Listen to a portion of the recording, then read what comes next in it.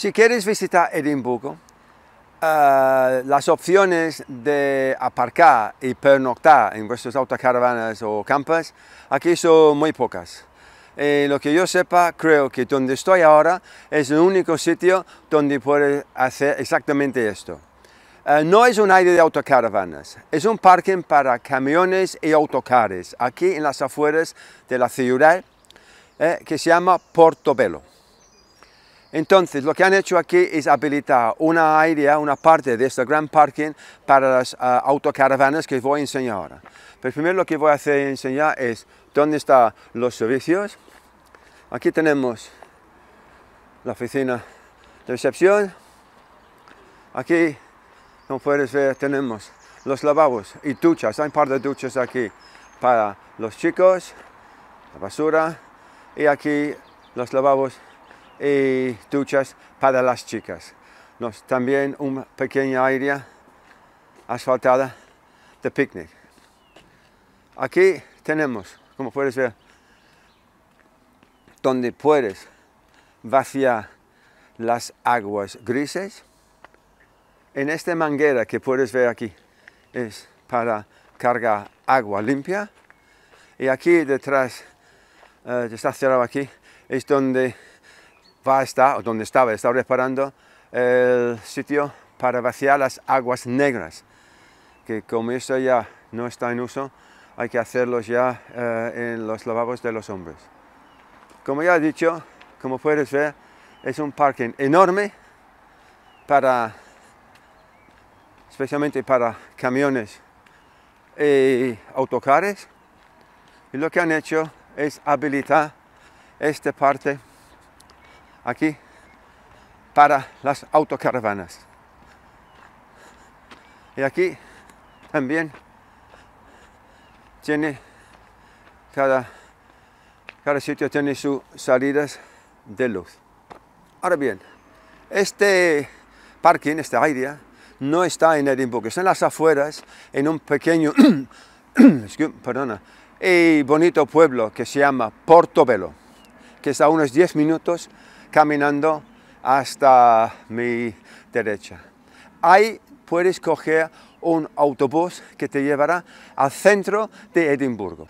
El billete de autobús cuesta 2 libras por persona. O si no, puedes comprar un billete de 5 libras por persona que dura todo el día.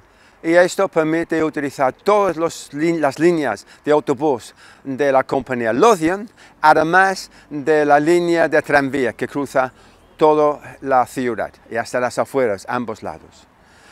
Pues nada, si estás pensando visitar Escocia y Edimburgo y quieres aparcar y pasar la noche, pues este sitio, eh, al menos para mí, aunque tiene un aspecto poco cochambroso, eh, es muy recomendable. Aquí por eso están muy, muy tranquilos o muy seguros de dejar vuestras autocaravanas y como he dicho, de aquí al centro de la ciudad no tardas más de 20 minutos, 25, media hora como mucho.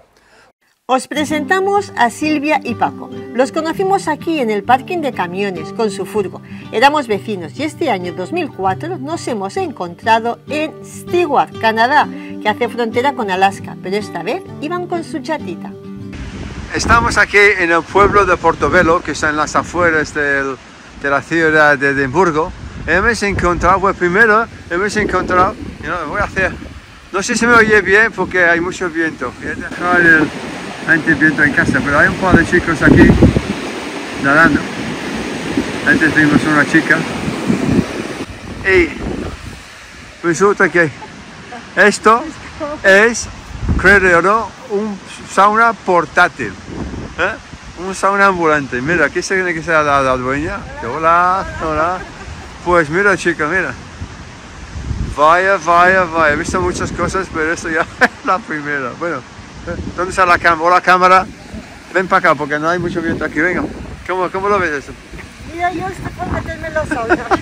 pues a lo mejor ponen en la sauna y, y, luego lo tiramos, tiramos al mar, ¿no? Pero yo al mar no me tiro. A pesar de lo que pueda parecer actualmente, Portobelo tuvo un pasado muy brillante. Su playa y las zonas recreativas que tenía en la época consiguieron que fuera un lugar turístico muy popular. Portobelo confía en recuperar su esplendor y convertirse de nuevo en un lugar de encuentro y diversión, con nuevos comercios y propuestas locales. Portobelo llegó a tener un muelle recreativo. Era tan importante que hasta se detenían los barcos de vapor durante varias horas. Vaya, como ahora los cruceros. También tuvo un complejo recreativo, con teatro, sala de baile, pistas de carreras, una montaña rusa y mucho más. Lo más de lo más fue que en el año 36 se inauguró una piscina de agua salada climatizada, con múltiples trampolines y un generador de olas. Imaginados lo que sería eso en la época. Aquí os mostramos unas imágenes del centro de Portobelo.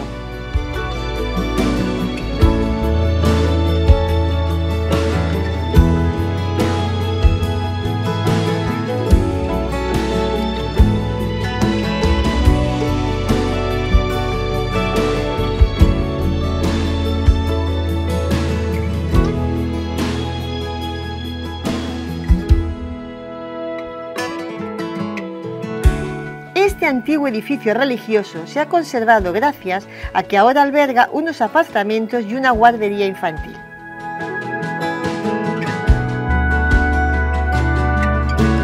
Nos sorprendió mucho ver este bar de tapas españolas y con la carta bilingüe español-inglés.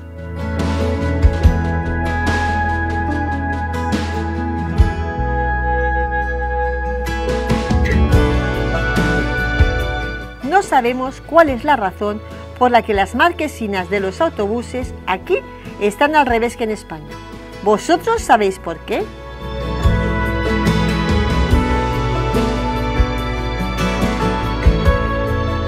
Nos despedimos por hoy, pero nos veremos la próxima semana en la capital, Edimburgo.